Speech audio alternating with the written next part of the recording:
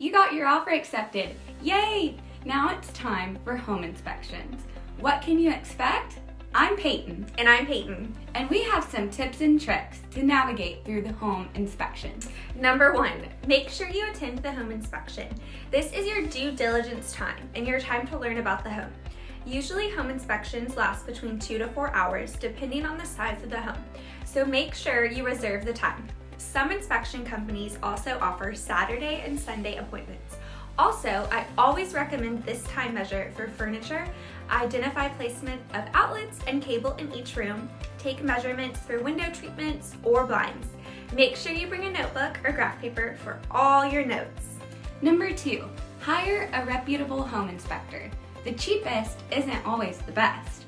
You want to make sure your inspection is thorough.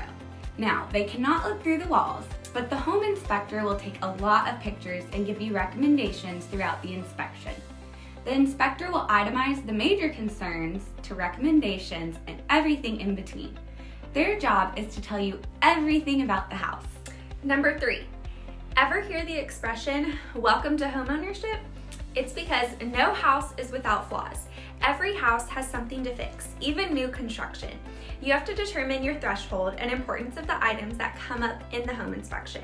Sometimes you can ask the seller to fix these items, or if you can, ask for some assistance to pay for these items. Maybe even a home warranty could be requested. You can discuss this more with your agent. There are many more inspections you can do on a home, so ask your agent what they recommend depending on the house you are purchasing. If you want to know more tips and tricks in buying your first home, click the link below to get your free buyer's guide book. I'm Peyton. And I'm Peyton with the Pickard Real Estate Group.